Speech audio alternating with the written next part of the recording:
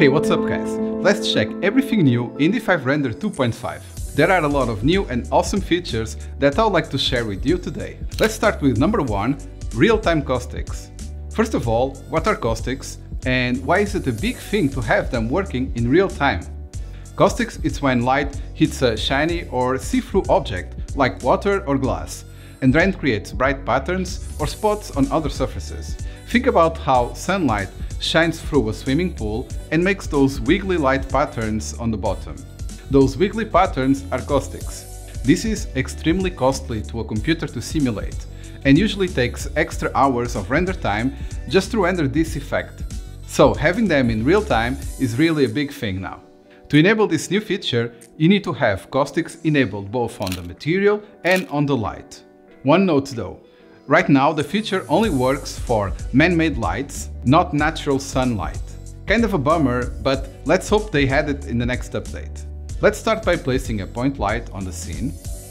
Now you will find a new property called caustics. Activate it.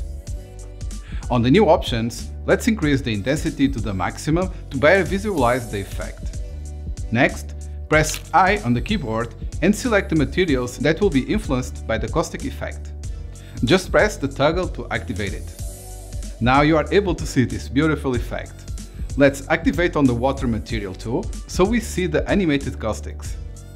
In daylight scenes like this, what I suggest is leaving the light with a low intensity value. This way it looks like the natural light is creating this effect. And now you can see the before and after images with caustics. It makes a big difference.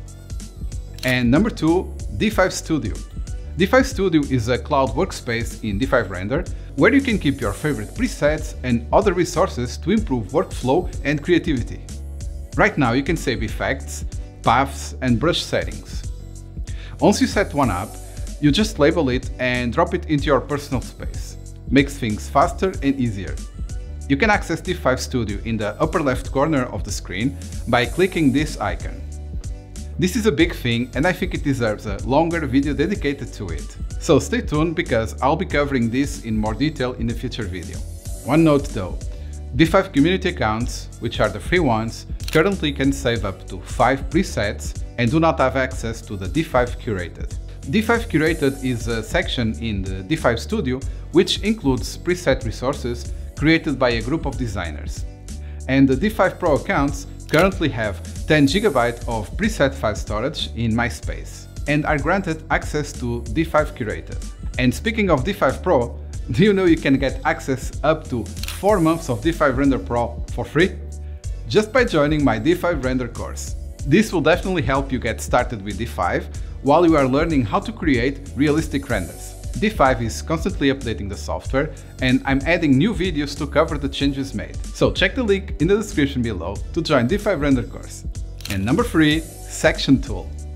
Another great feature that was long due. The section tool is like a magic knife that lets you cut through a 3D model in half to see what's inside. You can enable it by first going to Preference and then Widget. Here you can find the section tool and activate it. Now on the top, you will find a new icon for the section tool. You can add a plane or a cube section. On the properties, you can define if you want to apply to a specific layer or not, and you can toggle the option to fill in the edges with the color that you define. Note that every time you move the section, you need to click Preview Fill Color to be able to see the changes in real time. For the final render, this is not required. And next up is Advanced Camera Tool. This is a great new feature. Now you can add multiple cameras and see them on your scene, similar like you do in 3ds Max for example. Same as with the section tool, you need to first activate this option by going to Preference and Widget. Now on the top, you'll see a new icon for Advanced Camera Tool. Let's click there and now select Camera. First, you'll notice that you can move the camera around and rotate it wherever you like. And there's a whole new menu on the right side with extra options to adjust. Besides controlling the exposure, the projection mode, there's a new feature called Aspect Ratio. Here you can define if you want to take a horizontal or vertical render, along with other aspect ratio formats. You can also define the render size, focal length, and camera clipping plane. And number 5 is new video editing features. There are a lot of improvements in the new video editor. Now you are able to add different clips into a single timeline and easily move them around. And along with the new camera tool, you can now render vertical video as well. You can easily create keyframes for animation by simply pressing the K on the keyboard every time you make new changes to the object you want to animate. Again, this is an area that deserves a dedicated video, so I'll leave that to a future video.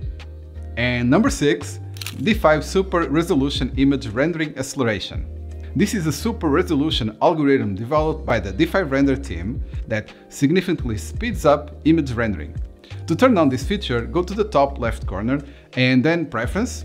Here, click on the widget on the left menu and enable the D5 SR Image Rendering Beta. That's all you need to do. Now, every time you render an image, you will have this feature enabled.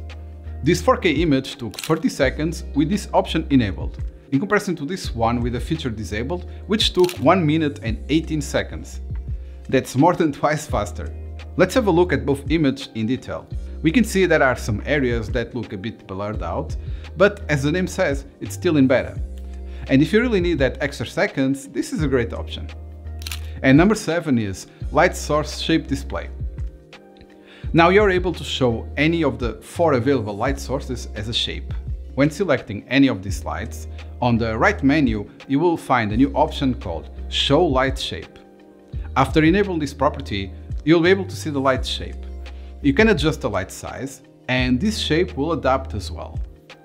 And number 8 is Improved Edge Effects of Grass Material. In version 2.4, when you set a grass material, you had about 20 centimeters on the edges without 3D grass. This was a big issue.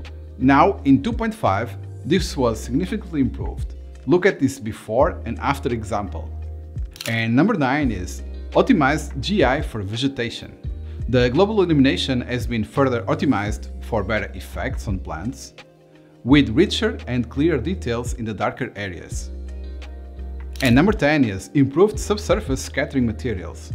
There have been two new changes to this type of material. First, the denoising algorithm for real-time preview has been improved.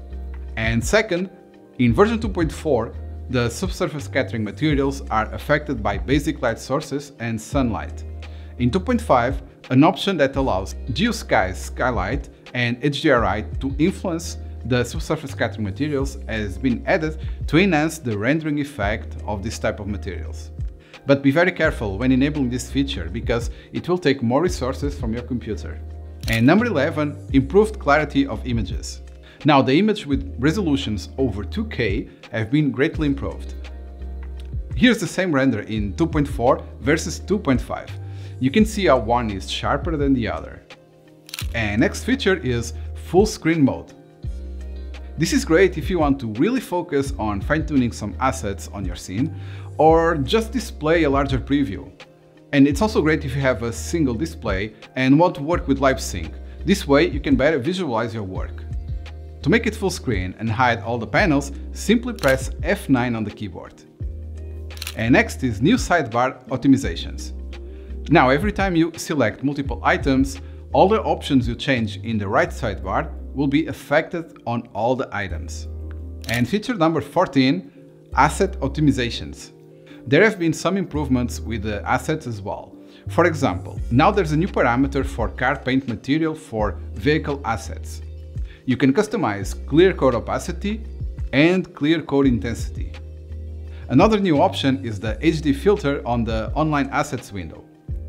This way you can check only the assets that work great near the camera for higher detail. There's also support for displaying search history to view previous searches. Also added search suggestions. You can click on the tags to jump to the search results quickly. The material classification directory has been adjusted added some classifications such as concrete, woven, subsurface scattering materials, etc., making it more convenient for users to find these materials. And lastly is new assets. There are also new assets such as new interior parallax assets, xerophyte plants, plant combos, new Asian characters, and also new HDRIs. That was a lot. Let me know in the comments which feature you liked most and don't forget to give this video a like and I'll see you in the next one.